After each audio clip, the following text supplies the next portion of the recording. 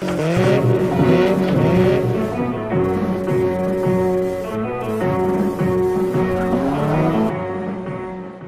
welcome back to a new video. Today I've come to the Sutherland pre-World War II car show, but I won't hang around talking.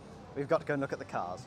Well, it's looking like a very promising day. I can already see some beautiful cars I'm really looking forward to having a look at. I should probably mention that before the war, most of the cars in Australia were either locally produced or American. There weren't quite so many British cars, but they were definitely coming sort of third in that lineup. It was largely due to the taxes and legislation for locally produced vehicles. Let's have a look at the first one, which is over here. It's a 1929 Chrysler 77. It's absolutely gorgeous. Interesting how they chose to do the two-tone in a sort of more flowing way rather than following the bodywork as they did in later cars. That'll be a dicky seat. Look at that dashboard. Dashboard's fabulous. And even the little Art Deco wings on the bonnet there. Just gorgeous. Anyway, let's see what's over here. I'll cover the bus later. But this is, of course, a Ford Model A. This one's from 1930. It's got this rather nice wooden bodywork on the back and a builder's van. Goodness. If builders' vans look this good these days, I think the world would be a much better place.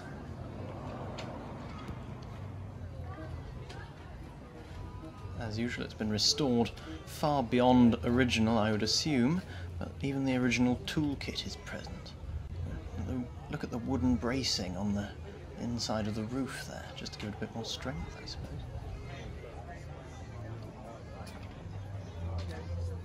Yet another Ford Model A here. This is a... This one is one year later. It's a different body style as well, being a Victoria leatherback, as the sign shows us. This next one is also a Ford Model A. It's very proudly showing its nationality there. And there's a third Ford here in this nice two-tone. And that's more of a saloon, but a two-door as well.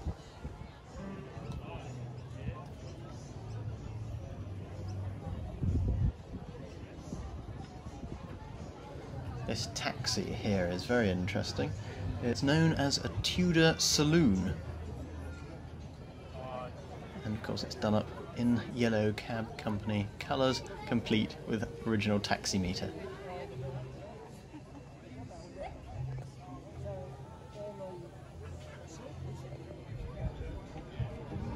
Here we can see on this Ford the side valve engine with the spark plugs coming out the top because of course the valves are in the sides, so you have to put them somewhere. And moving on to the next car, it's yet another Ford Model A in this rather nice convertible Doctor's Coupe style. This Peugeot is very interesting. It's a 1923 Peugeot delivery van done up as a bicycle delivery van because of course Peugeot did originally make bicycles as well as numerous other things. And this one is a Munro. I'd never heard of a Munro until recently, but look at that engine. Everything's on the outside. You can see the push rods there, and even the flywheel is exposed. Never get that today. Looks almost like a Ford Model T in a way but you can see the motor meter on the on top of the radiator there and here's the information about it complete with a spark plug.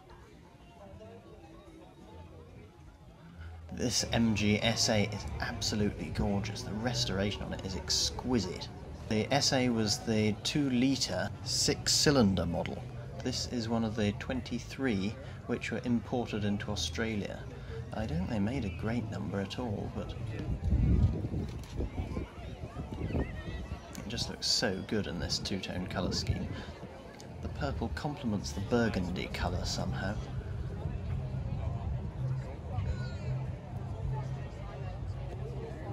Look at the engine.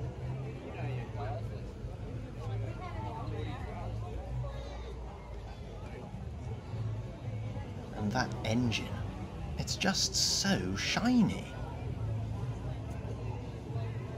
In fact, the whole car is incredibly shiny. Absolutely wonderful. really sporty design as well.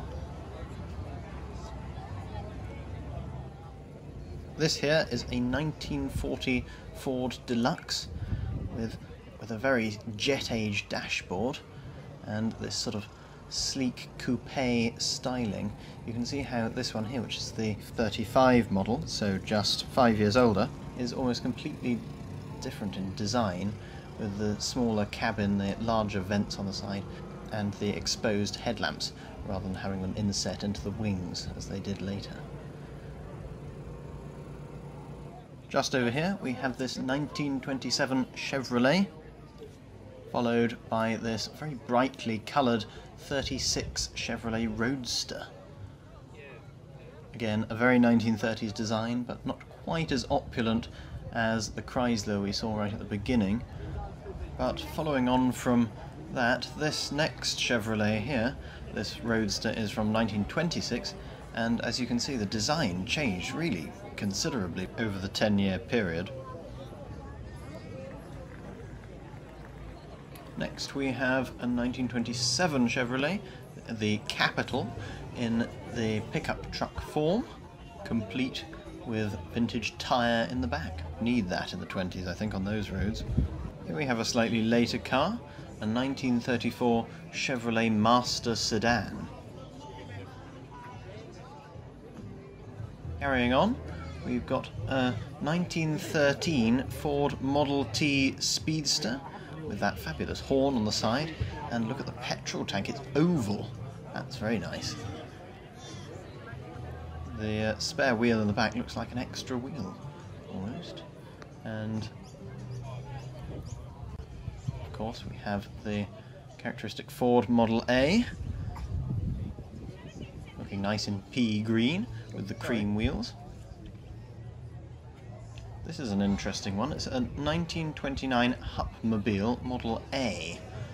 Also a Model A. We've got plenty of Model A's here, but look at that interior, that sort of almost classically styled dashboard, and even down to the door handles. The interior ones are a sight to behold. Dicky seat, of course. very shiny. Most of them are so well restored. This one has no problems with shine though. It's a 1939 Packard 8 Tourer, and the owner seems to be very proud of its state, which is certainly patinated, that's for sure. As you can see, the engine is this enormous straight 8 side valve with what looks like a tiny carburettor on the side. Anyway, let's have a look at the interior.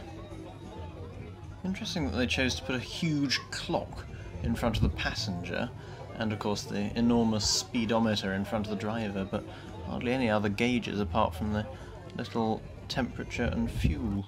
On now to this really adorable little Morris Cowley. Oh, and bright red engine, gosh! And look at the little SU. It's all brass and it doesn't have an air filter at all. Considering that most of the roads would have been dirt back then, you'd think they'd have put an air filter on it. 1924, this one's from. Just so sweet with the black and cream two-tone colour scheme on it. Something a bit smaller now is this baby Austin, Austin 7. He's clearly worried about the time because he's got a quartz clock attached to his steering wheel. Funny the way they use the uh, head bolt to attach the horn.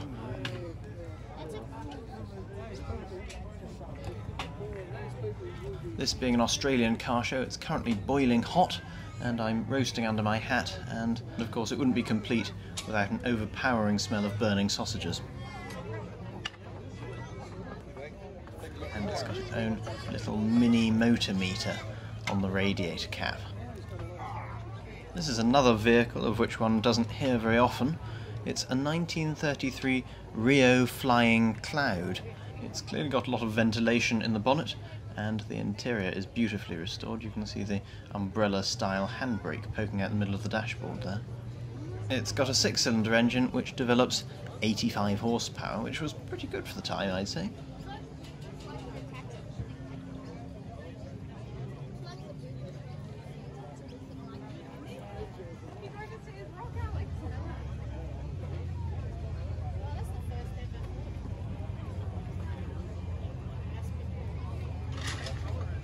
Naturally, there's another Ford Model T over here. This one made in Canada, it appears.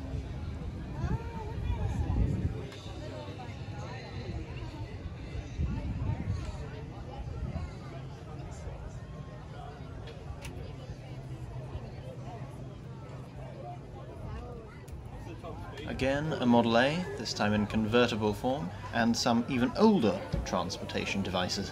This Rolls-Royce Silver Ghost certainly takes the prize for one of the largest vehicles here, and it does look fabulous with that polished aluminium on top with the canary yellow paintwork underneath.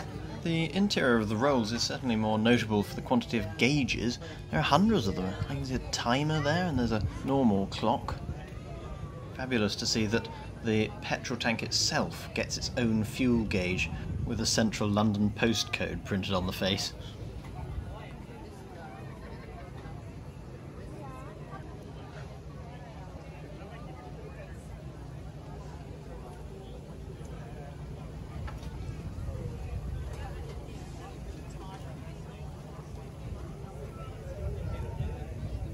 Next to the Rolls-Royce we have one of its competitors from the 20s in the form of this also 1923 Austin 20 Tourer and even has its own branded motor meter. It's huge. And look at that rear screen for the luxuriating rear passengers.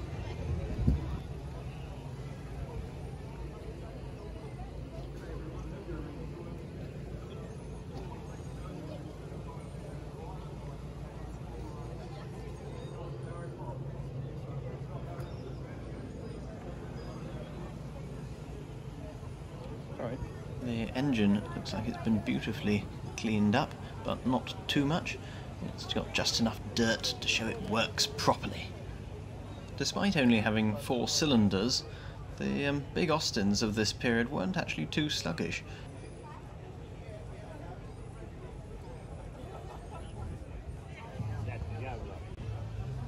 Then to this rather brown Ford V8 Roadster although I don't think that engine has quite enough bolts securing the heads on.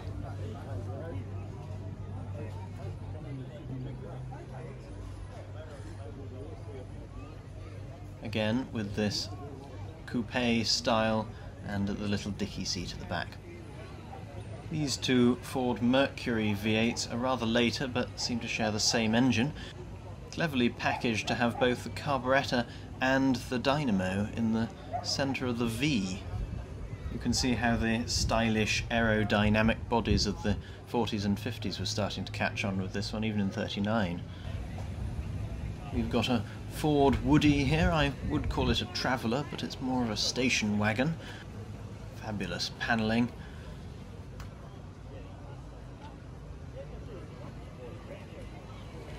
Turning around, we've got this Ford V8 Coupe in the Doctor's Coupe style. Here we have a 1940 Buick Super, which seems to have been shot a few times. Looking at the engine, you can see they were clearly proclaiming the wonders of an overhead valve system, calling it the valve in head. And since it was produced during the war, I would assume that this plate would tell you something about that. Very stylish, even with the bonnet open, which opens on both sides. The lamp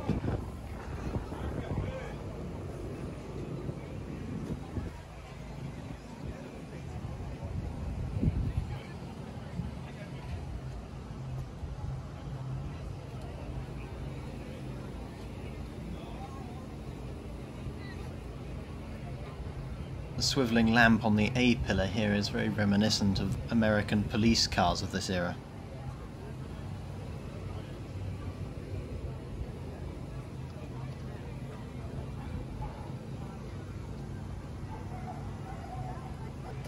This 1923 Alfa Romeo is absolutely gorgeous. It's even got its own period jacking system on each corner, which was made by Westinghouse, it appears.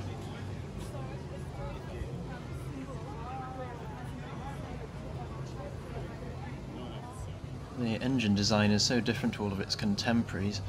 All the surfaces are so clean and smooth. It's even got what looks like an updraft carburettor, which is a bit unusual.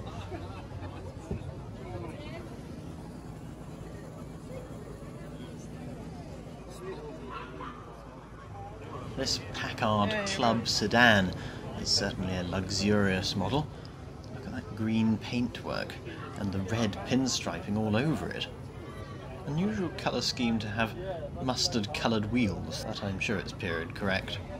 Here's another Packard, this time a 1700, and that mascot is fabulous with its etched glass wings. The material they've used to trim the interior is unusual though, it's almost like the West of England cloth used in later British cars. That must be how it looked more than 20 years ago.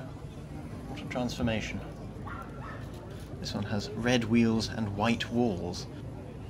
This is an amazing looking Packard, this 1923 model.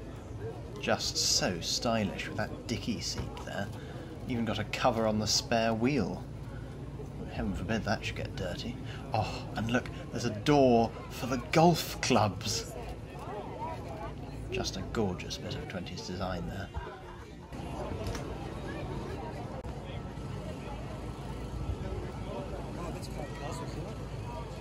Again, we've got another late 30s Packard here with that very big engine and very small carburettor. Lovely split screen on these. There's the interior, just the same as the other one, but this one is like the, the unrestored one, but in rather a better state.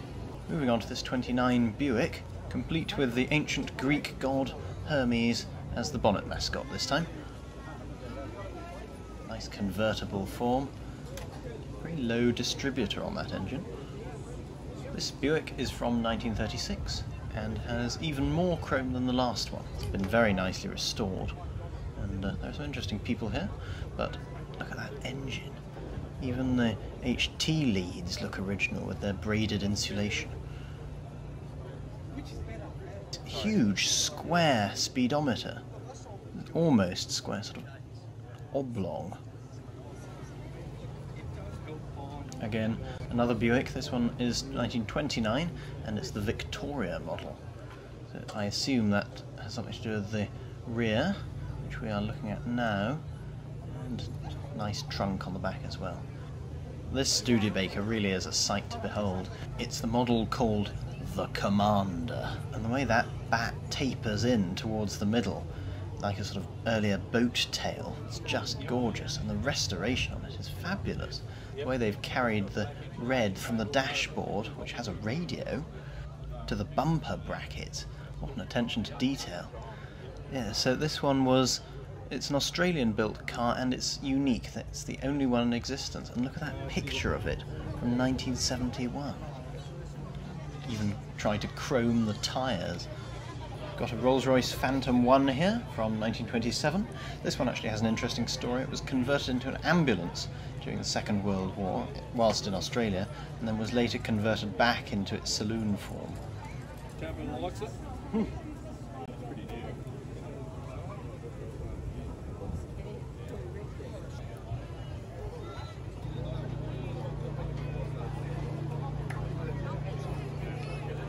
got some commercial vehicles over here.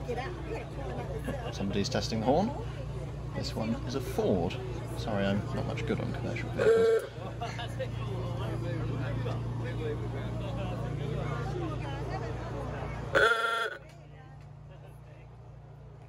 On the other hand, I can tell you that this is an AEC Regent bus, as was used all over Sydney oh, for a very long time, even up into the 70s, if not longer. Such a classic piece of design with the green and cream and the double-decker layout. There's the inside. Nice spacious interior with high ceilings. Hmm. Complete with old adverts. And I love the, the uh, trafficating hands that pop out.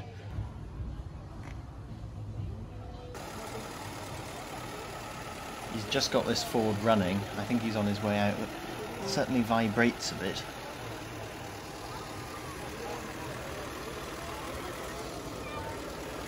He's adjusting the timing now on the steering wheel with the advance and retard lever.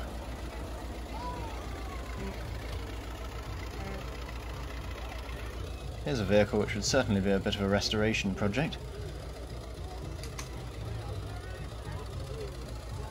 I like where the roof is tied on with rope.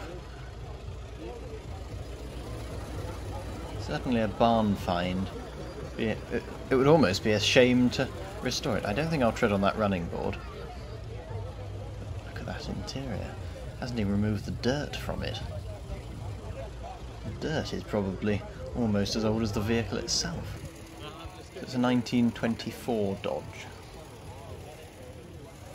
I think that'll start up with a bit of petrol.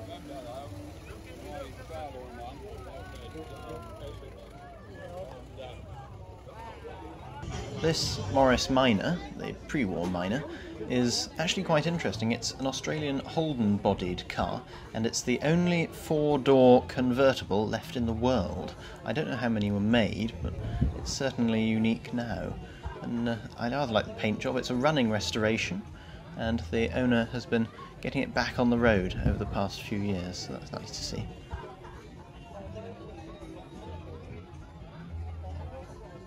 We've got this Chevrolet commercial vehicle over here which is nice and shiny and still has its wooden body on the back. It's mm. next to this Ford.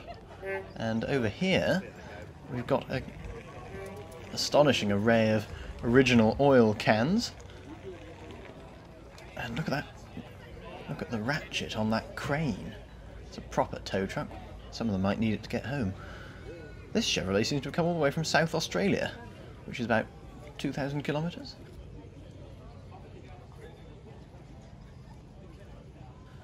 Nice Oldsmobile, also complete with mattresses on the back. Advertising the manufacturer of bedding. And look at those turn signals.